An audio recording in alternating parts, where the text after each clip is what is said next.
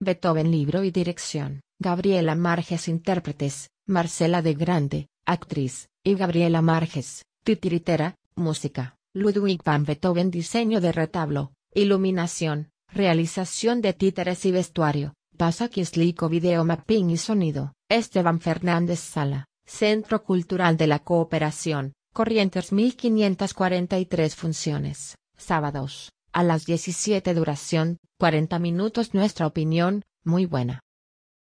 En su casa de Viena compone Beethoven. Ensaya, descarte reescribe.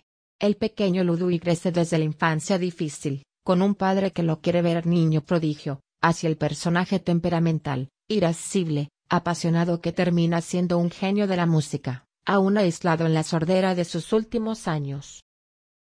La historia de Beethoven, escrita y dirigida por la titiritera Gabriela Marges, se desarrolla en la casa retablo construida sobre la base de la singular técnica rusa Vertep.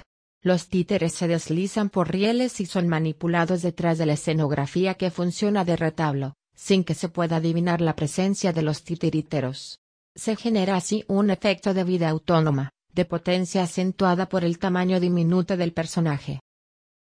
Fuera del retablo, sobre el escenario, Madame Fifi, interpretada por la actriz Marcela de Grande con un preciso sentido del humor, entabla una graciosa interlocución con el diminuto títere que encarna el músico, sin opacar nunca la figura del pequeño gran protagonista de la historia. Fragmentos de la obra del músico parecen compuestos especialmente para ilustrar con fuerza dramática los momentos de la biografía de Beethoven. En una obra en la que lo sonoro es coprotagonista, aparecen como aporte valioso las caracterizaciones de las voces de Madame Fifi, por de Grande, y de Beethoven, por Marges. En ese diálogo en par crean una dinámica que mantiene en vilo a espectadores de todas las edades.